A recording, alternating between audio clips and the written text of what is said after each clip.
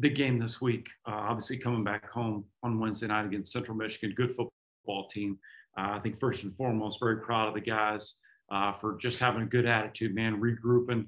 Uh, obviously, it was very difficult, but you know, we challenged the guys when we got together on Friday uh, to make sure that you know we got to move forward full speed ahead, and uh, just proud of the attitude, proud of the guys regrouping, and and obviously just finished our second uh, day of practice uh, in preparation uh, for the game on Wednesday night.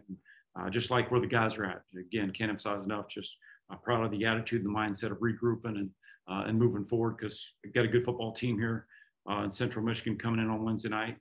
got to got to have a great week of preparation here in order to have a chance to to get a win here on Wednesday night. We'll open up for questions. Yeah, coach. I mean, you kind of mentioned it. Um, I guess just, I mean, the past few days, I mean, you kind of talked about the mentality. Um, how hard is it to put a game like that kind of behind you guys and reset and, and refocus in these final two weeks? Well, we can't allow it to be. You know, we have we got to just keep looking ahead. We can't change anything that's happened, uh, you know, in the rear view mirror. And so we got to look forward, full speed ahead. And that's what you know, challenge the guys on Friday. Uh, and, and, I'm proud of the guys. You know, the, the younger guys in our program are going to take the lead of uh, what our veterans do, and I've been proud of the veterans. Uh, and we got a lot left to play for. There's a lot left to be accomplished, and we just got to look forward. And, and really, that's just uh, you know a credit to those guys for approaching the practice field, approaching the meetings uh, that way. And and uh, you know, obviously had two good days so far. We got to just keep going. Yeah, and then I guess um, I know the big goal was obviously the, to get back to the MAC championship since the beginning of the year. Um, I mean, how do you evaluate the season kind of at, at this point now that that goal's kind of uh, out of reach for you guys? Yeah, I'm, I'm not going to do that yet. We have a lot, mm. Left to play. All my energy, all my focus, all my effort is for our uh, for our players, uh, making sure we do the best uh, to put a game plan together, uh, to do all everything we can from a preparation standpoint to give ourselves, our guys, the best chance to go out there and have success. And um, you know, I'm going to give everything I have, every every everything I have to our uh, guys that have given everything to our program. And, and, that's really all I can control right now. There'll be a time down the road uh, where we step back and uh, evaluate the whole picture. But right now, just just concerned on things we can control, and and uh, we still got a lot uh, left that we can accomplish here this season. Yeah, and obviously bowl eligibility is still um, kind of kind of up for you guys to grab. Um, and there's only been a few teams in Ball State football history that have made it to back-to-back bowl games. Um, what would that mean to you just to, to kind of get back to that spot uh, this year? You know, especially right now, that's all we can control is how we finish the season. You know, we got two games left that are guaranteed together. Our focus is only on Central Michigan right now, and it's a good team. They're they're in the thick of it, and they're fighting. Uh, you know, still fighting, and and uh, obviously they got a good football team. Coach McElwain's done a good job there, and um, you know, all I'm concerned about for us is you know we got to play our play our best brand of football on Wednesday night, and uh, and building the confidence necessary here in practice. You know, yesterday, today, uh, tomorrow. Um, you know, that's the only thing I'm concerned about right now. And um, you know, getting a win on Wednesday night. That's the only focus. For sure. And then I guess the last thing for me, just kind of moving into the last two weeks, and if there's a bowl game, um, you know, eventually these seniors are are gonna be gone from from the program. I mean, how much of a balance is this? You know, trying to get some of the younger guys maybe some reps in the past in the next few weeks.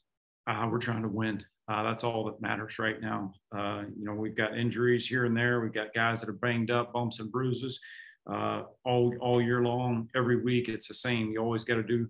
You got you got to make sure you have the next man up if that's the situation that presents itself. And so, uh, just just focused on winning. That's all. That's all that matters is is uh, giving ourselves uh, best opportunity to go be successful on Wednesday night. Sure. That's all I got. Thanks. Thank you. Uh, Coach, real quick, Central Michigan's got a couple playmakers um, and their their running back and their, their wide receiver. What kind of go will go into? I mean, without giving away the game plan. Yeah. Uh, just well, Lew, Lew Nichols is one of the best young running backs in this league. You know, he's been very consistent week in, week out. Uh, obviously, they got weapons around him with Khalil Pimpleton, JaCorey Sullivan. Um, you know, those guys are playing well. Obviously, they've got good weapons. They do a good job of mixing it up offensively, spreading the ball around um, we got to play good defense. You know, we saw a lot of these same guys a year ago, and we had an opportunity to play against Central. Um, you know, defensively, they're a good football team. Um, you know, obviously, uh, you know, my hat's off to the job that, that Coach McElwain has done, and and uh, for us, we got to make sure that we play good, sound, complete. Um, you know, team football. We got to be, we got to play well in all phases in order to have have a have an opportunity to win on Wednesday night. Um, and lastly, it seems like the team's really been, like I said, putting emphasis on taking care of the ball um, the last last few weeks, um, just you know, especially with the early uh, season. Yeah, for us last week was tough because it was a little bit of that. You know, we won the turnover battle. We had a block punt, uh, and you know, obviously we didn't, we weren't successful enough on third down to stay on the field. We we missed some opportunities early in the game, so uh, we continue to emphasize that every day in practice. Uh, working on the turnover margin or turnover circuit, we do that every day to, to emphasize ball security, to emphasize taking care of the ball, and uh, defensively trying to do a good job of stripping it and punching it out. And, uh, and then once we do that, obviously doing a good job of recovering it. So we work on those every single day. We'll continue to do that. Um, you know, obviously it's a goal every week to make sure we win the turnover margin. Thank you, Coach. Okay, thank you. Set up. All right, we'll open up for questions for Christian Albright. Yeah, I guess uh, just kind of take me through the past couple of days. Um, um, what's kind of the mentality been like uh, around the facility after uh, the Northern game? Uh, you know, I mean, coming after a tough loss, it's always gonna be always gonna be tough to you know move on because uh, we know that's a game we we could have and should have won, but you know you got to move on and uh, just move our attention on to Central Michigan. So I feel like guys have done a great job of just coming ready to work still and uh, really putting that game behind us. Yeah, and I feel like all all year, I mean, that's kind of you guys kind of have that mentality, right? As soon as it's over, you, you kind of move on. Um, but how much, I mean, was it more difficult maybe, you know, moving on from, from this one, knowing um, kind of the implications of it all? Yeah, for sure it was. You know, that um, that's a, the reason a lot of us came back to uh, try and get back to Detroit. So um, losing and losing in the way that we lost, it was it was just tough. But you know, we got a bunch of strong guys in this program that uh, we've been through a lot. So you know, it's just another another bump in the road. Yeah, for sure. And then uh, two weeks left, and, and bowl eligibility still um, up for grabs for you guys. Um, I mean, what what's what's kind of the, the focus these last two weeks, or what do you guys kind of want to leave behind, especially a lot of you seniors who who came back this year? You know, just really just finish on a strong note. You know, we can uh, we can still have a great season even without going to the MAC championship. We know we can um, win these next two and go to a good bowl game, and then win uh, back-to-back bowl games for the first time in program history as well. So we know we can still finish strong and there's still history to be made around here. So yeah, and um, I mean, obviously, I, I, think there's only been a handful of teams who've gone to back-to-back bowl games, um, and none none have won it. Obviously, um, what would that mean to you guys to to, to get bowl eligible here again in, in the next two weeks or so? No, that would mean a lot, man. We're uh, we're just trying to leave a legacy, and like I said, just just really finish out strong. And I know none of us are ready for it to be over after these next two weeks, so we're really just focused on winning these next two and, and then just going and having a great time at the bowl and getting another win. Sure. That's all I got for you. Thanks. Yep, no problem. Thanks, Christian. We will uh, open it up for questions for Cody. Yeah, I guess uh, just take me through the last uh, few days around the facility. Um, what's kind of the mentality uh, been like with the team um, following that Northern game?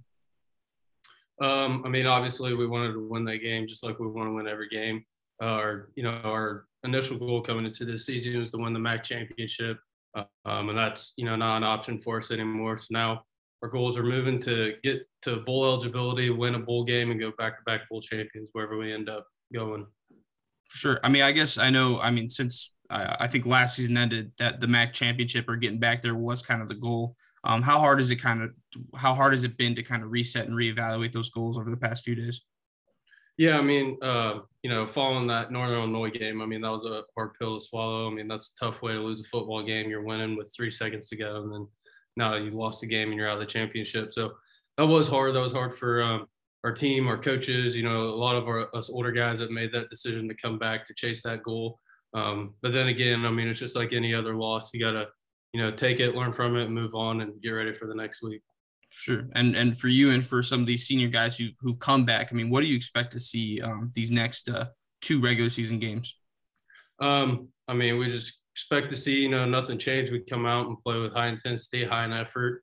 Um, you know, and play to win these next two games, like I said, and get you know get a spot to go to a bowl game and end up somewhere and you know finish off the season on a strong note and uh, you know make the season worth it for sure. And then um, I guess I mean uh, not many teams in, in program history have made back-to-back bowl games. Um, what would that mean to you guys to to get bowl eligible eligible here in the next two weeks?